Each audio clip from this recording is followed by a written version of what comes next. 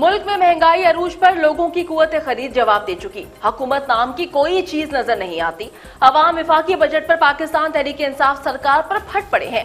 कहते हैं कि लोगों को आटा मिल रहा है, ना ही पेट्रोल। चीनी की कीमतें भी आसमान से बातें कर रही हैं। इसके बावजूद तनख्वाहों में कोई इजाफा नहीं किया गया।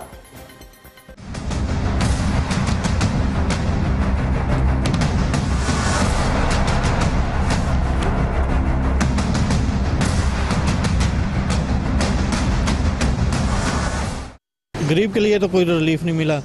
जो बजट है वो तो तनख्वाहदार या पेश पेंशन वाले उनको भी कोई रिलीफ नहीं मिला। किसी की कोई तनख्वाह नहीं बढ़नी।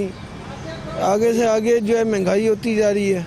आटा मिल नहीं रहा ना पेट्रोल मिल रहा लंबी लंबी लाइनें लगी हुई हैं। कोई फ़ायदा नहीं है इस हुकूमत का। आवाम के लिए तो कोई भी बजट नहीं है किसी भी हवाले से। ये तो आवाम को मारने वाला बजट तैयार किया गया। इन्होंने तो कमाल ही कर दिया इस दफ़ा तो। उन्होंने एक एक परसेंट भी नहीं दिया। कुछ भी नहीं जाएगा गरीबों के लिए क्या क्या ऐलान किया गरीबों के लिए? कुछ भी नहीं है। तनख्वाहें ना बढ़ा के इन्होंने बहुत बड़ी ज्यादती की है। महँगाई दिन ब दिन बढ़ रही है और चीज़ें इन्फ्लेट कर रही हैं। चीनी और आटे के आपको पता ही है। तो इस सिलसिले में अगर ये बजट में छोटे मुलाजमिन की तनख्वाह इन्हें ज़रूर बढ़ानी चाहिए थी और पेंशनर्स को ज़रूर रिलीफ देना चाहिए था। जो बजट कह रहे हैं ये तो गरीब आदमी को रिलीफ तो आज तक नहीं मिला। बजट तो ऐसे ही है जैसे है। और ये इससे आगे और क्या करेंगे क्या टैक्स लगाएँगे? हर हमारे सांस पे भी तो टैक्स लगा हुआ है। जब से पैदा हुए कभी देखा कि किसी गरीब को रिलीफ मिला? कभी भी नहीं मिला। ये तो बस इनके कहने की बातें हैं।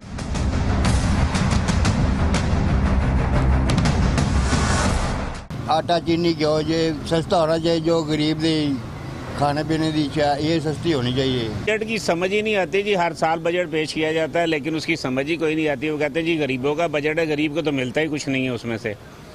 महँगाई आसमान पर पहुँच गई हुई है कुछ समझ ही नहीं आती। ये सिर्फ़ जो है ना बड़े लोगों का बजट है अवाम के लिए अवाम दोस्त बजट नहीं है भाई साहब। जब भी बजट आता है तो सरकारी मुलाजम जो है इस उम्मीद में होता है कि हमारे कुछ सैलरी बढ़ेगी।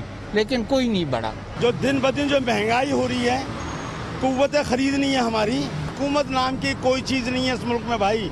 गरीब का बेड़ा गर्क हो गया है। गरीब का बेड़ा गर्क हो गया है।